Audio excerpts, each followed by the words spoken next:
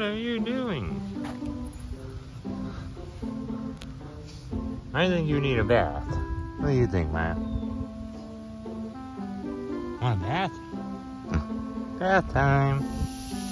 Somebody doesn't want their bath.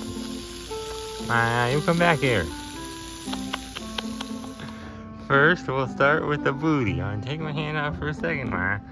You better not start running when I start with the booter. She's bad. Start off with this booty because it's stinky. Ah, oh.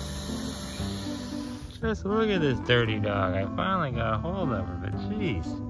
Look at that belly. and it's just dripping with mud water because she was just laying in her pool which is full of mud water. Is that so, Matt? Oh yeah, so I'm gonna start giving you a rinse with the old hose. Then it's soap time, the suds.